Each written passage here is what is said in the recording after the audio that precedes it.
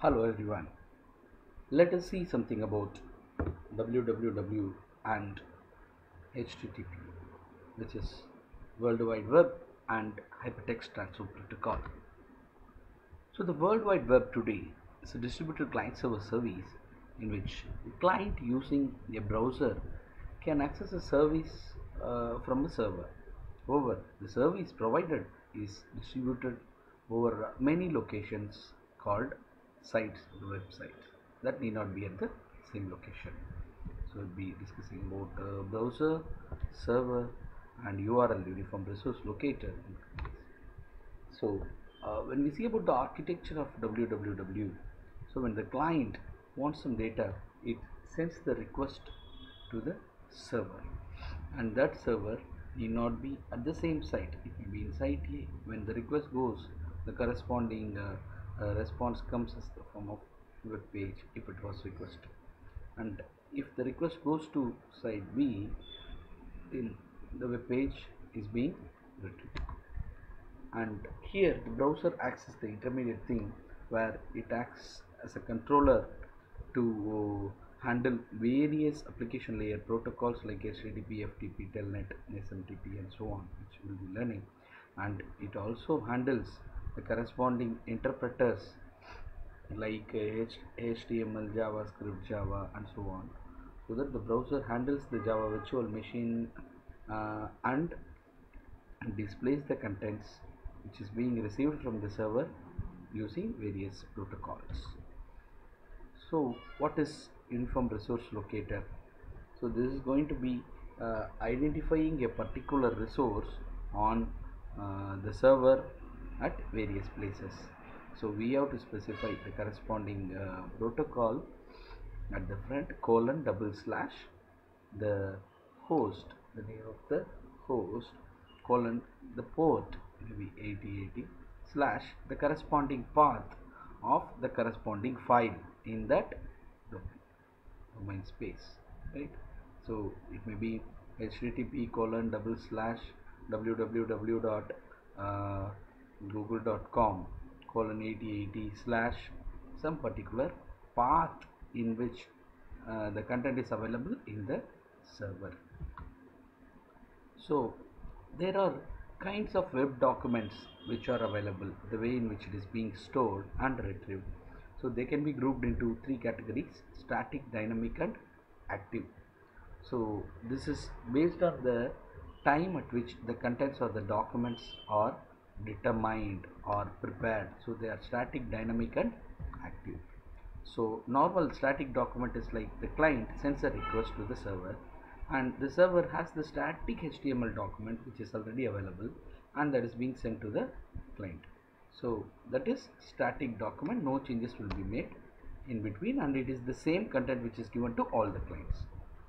So uh, when it when it contains such a tag HTML tag with capital B slash capital B tag then when the content is being given to the browser what does the browser do? The boldface tag is taken care and it displays the text in a boldface to format. So this is what is the change which browser does from the content received and the content display and there can also be some other attributes for uh, the content. So it need not be only bold it can be uh, it can be any tag right? So there is going to be a tag name and if it is text so it will be text and it has some attribute values. It may be font it may be face it may be color or anything. So that has to be specified and then its value. So the color may be red or black or anything. And there are also other options. And this is the beginning of that particular tag and yeah, that particular uh, tag is that that that particular specification is applicable for all the contents which is in between. And finally the end tag is going to end that feature. So if it is going to be build uh, made bold then until we put slash tag name until that tag is ended so it is going to be bold. And so when the client sends a request in case of dynamic HTML document. So the server is going to uh, search for the corresponding content. It may also be a program or a service. So uh, based on that one uh, the content is being taken and it is being uh, delivered to the client. And this is not the same content uh, which is going to be there for all the requests it may be different.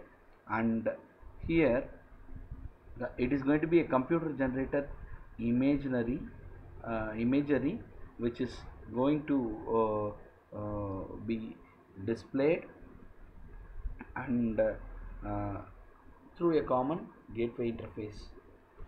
So it is going to be shown to the client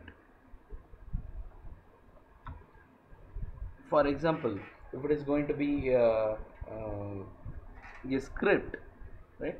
So uh, when the request is going to be on the ser server side sent to the server side then the script is run it may be javascript or anything and that uh, VB script anything and that is being run at the uh, the run inside the HTML document. It is being identified it is run inside and the server side itself and the uh, resulting dynamic HTML document is sent to the client and is being displayed to the client. So dynamic documents are sometimes referred to as server side dynamic documents whereas there may be applets also so in case of java applet it is uh, when the request is being sent to the server the applet the corresponding applet program is identified and that is being sent and the java virtual machine available in the browser takes care of executing that uh, applet and showing you the result.